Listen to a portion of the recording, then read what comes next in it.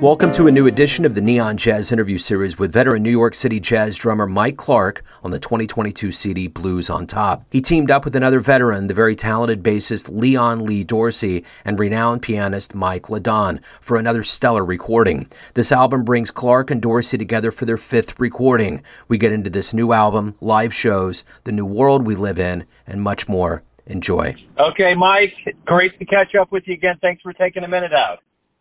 Absolutely, bro. Man, where are you? I'm in uh, Kansas City. Oh Lord, okay. Uh, uh, uh Kansas City, here I come. Okay, twelve Street right. Vine. That's right. This and a bottle of my Kansas, bottle of Kansas City wine. yeah, that's right. That's right. Paris of the Plains. Yeah. Yeah. The last time, we, the last time we spoke was before the world shut down and everything got goofy. Yes, yes, I remember you. Of course, yes, I do.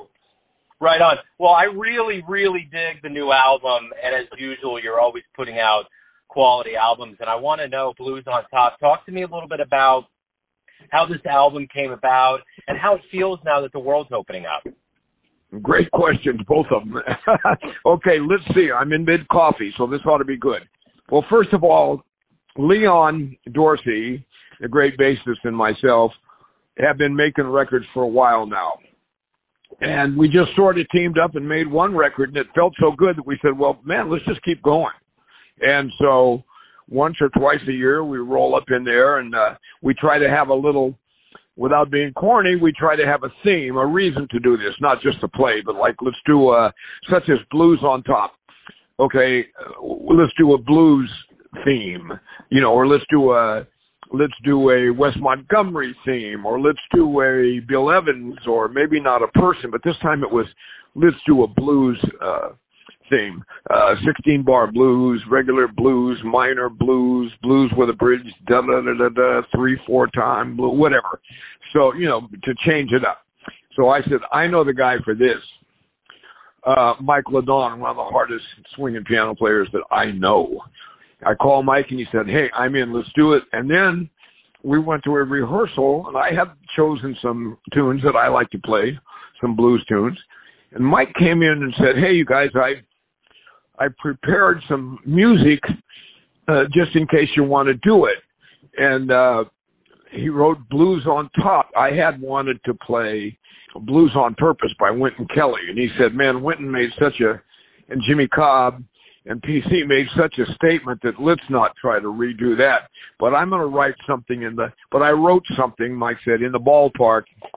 You know, the and so there it is. So then uh, it it swung so hard and felt so great when I heard the playback. I thought this has got to be the name of the record, and uh, Leon agreed.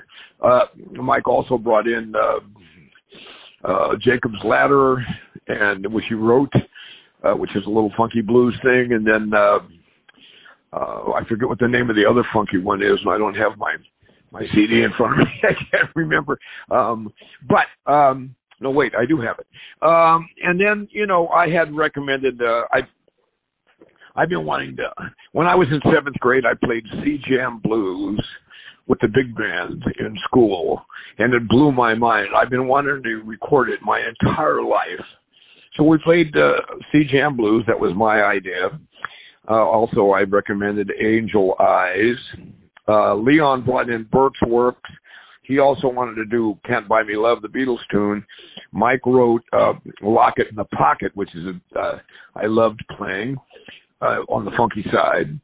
And uh see, Mike can play. You know, he's like this knowledgeable, incredible jazz pianist, but he also is the Tower of Power and James Brown and blues nut, so he can do all of this funky stuff too, and do it jazz style or funk style. You know, either way, because he plays really great piano and, as you know, a really great B3. So he's, you know, this guy is brilliant. So, um, uh, I recommended Stolen Moments, another tune that I've been in love with since high school. I played it in high school and I was like, oh man. Man, the session went down in two four hour sessions. Four hours one day, four hours next day, come in a few days later and mix, boom, done. So it's jazz style. Everything, almost everything was the first take with one little rehearsal the day before we, and we didn't even get to rehearse all the music. So some of it were uh, reading, believe it or not. And some of it we're just feeling and playing because we know the tunes. And then everybody called each other the next day. Hey man, that was fun. Ah, let's do it again. Ah, you know, so that's how. There you go. That's part right A. Did I exhaust yeah. you with that answer? no, you're good. You're good. okay, because I'm in the middle of a cup of really strong coffee, so I hope I don't go on for four and a half hours about. And yeah. the other part, what is it like since? Oh yeah, after COVID and the world has opened back up. Well, I'm not sure that the jazz world has opened all the way back up in terms of gigs, but myself, I consider myself lucky, fortunate. Uh, I also put a hell of a lot of work into working. So I have a busy schedule as a jazz musician and um call me lucky. I feel blessed and and you know, it's not that it's not a struggle. It is. But I'm okay. I, I got enough on the books to uh to make a living. Uh and um but I definitely, I mean, I went from working all year around and trying to find time off to sneak down to an island to rejuvenate to now maybe I have a half a year's work, which, which, which, which, which at this point is nothing to sneeze at. So I don't think, you know, a lot of clubs are closed. A lot of uni, a lot of, uh, I, I, I'm also a clinician, so a lot of companies that, uh, that I endorse their product can no longer pay me to do clinics. A lot of colleges' budgets are really tight. A lot of uh, smaller venues that I could always get in without even, you know, on on a moment's notice, practically, if you will, are closed or have to be very careful who they hire and when they hire. You know, with all the years that I've been playing, I'm not like a main headliner on the big festivals or stuff like that. Now, this is I'm not saying this begrudgingly. I I dig what I'm doing, man. I'm good, but uh, the reality is I'm not that guy. And of course, I'd love to be that guy, and I feel. Even at my age, I'm still working on being that guy, but in the meantime, I'm not going to feel bad about not being that guy. But so I'm not getting the benefits that guys like that get, and I'm not bugged about it at all. I'm working on it, as I say, which is, you know, um, the process is interesting and sometimes painful, but sometimes a hell of a lot of fun and lots of self-reflection. Because I'm I'm the kind of artist that feels like you drive your own ship. I'm not a victim, so it's up to me to get where I'm going.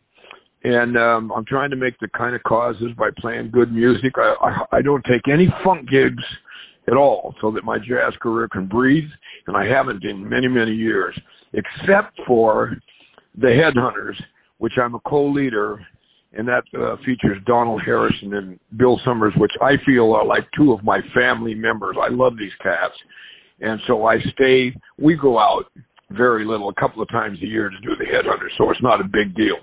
Okay, how's that? I like it. oh, so yeah, I am. Uh, if you go, uh, one more thing, bro. I'm sorry, and I will stop. I promise. No, you're good. You're but, good. No, but this is kind of important. If you go to drummermikeclark.com. You can see my dates. Uh, um, I'm getting ready to do. Me and Michael Zilber are getting ready to do the Monterey Jazz Festival September 25th. I know Kyle Eastwood's going to be down there and a bunch of great uh, uh, artists. And uh, I'm doing uh, Keystone Baltimore with uh, uh, Eddie Henderson. This is my gig. Eddie Henderson, Essiet on bass, John Davis on piano, and the great Donald Harrison on alto, and I'm going to play the music of Herbie Hancock, and I'm going to go back and play his earlier jazz pieces. I mean, even before Empyrean Isles. Like I'm not going to play one finger snap real fast like guys do in a jam session. None of that, and none of the funky stuff. I'm going to go back and. uh go way back to Blind Man Blind and uh, Empty Pockets and some of those early Herbie things that I used to play when I was young before I even met that guy. so, end of the Yeah, no, that's cool. That's cool. No, so what are you hoping the listener gets from this album? You know, when you were younger, you may be young now, uh, uh, and let's say you're, remember when you first turned on James Brown, B.B. King, John Coltrane, uh, Sonny Rollins, Hank Mobley, Art Blakey, and it and it just lit you up inside, made you want to move and made you want to play jazz or want to love jazz or want to be it just hit you where you live right square where you live you know? You didn't care who the artist was where he's coming from post bop bebop pre bop big band whatever it just hit you and you don't even know why.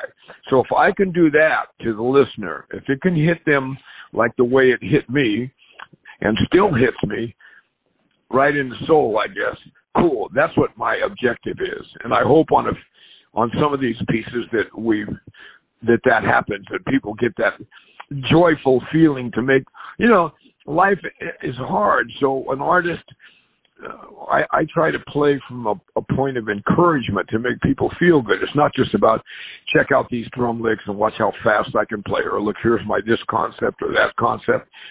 I mean, I'm over, way over all that that's you know I'm done. I'm in a new bag now, which is total music and total swing, and that's the objective anyway. I'm not bragging. I mean that is my objective.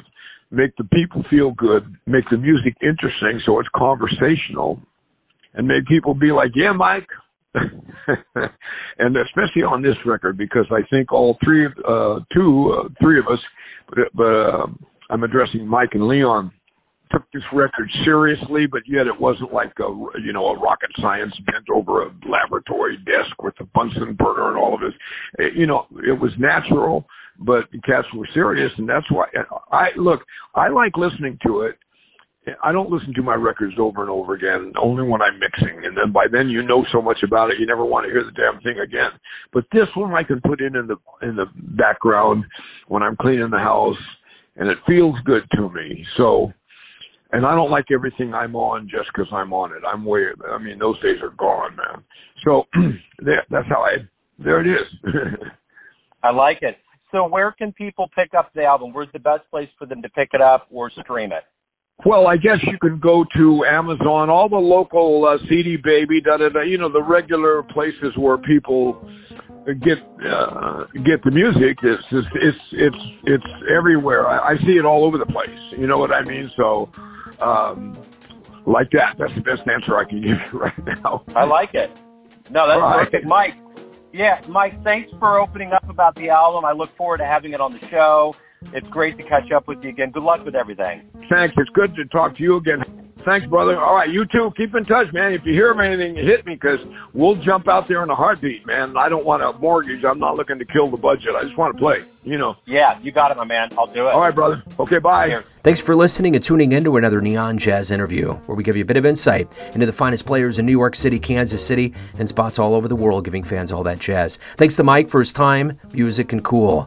If you want to hear more interviews, go to Famous Interviews with Joe Dimino in the iTunes Store. Visit neonjazz at youtube.com. And for everything Neon Jazz, go to the neonjazz.blogspot.com.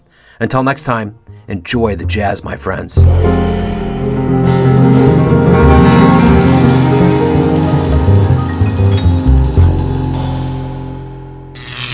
Neon Jazz.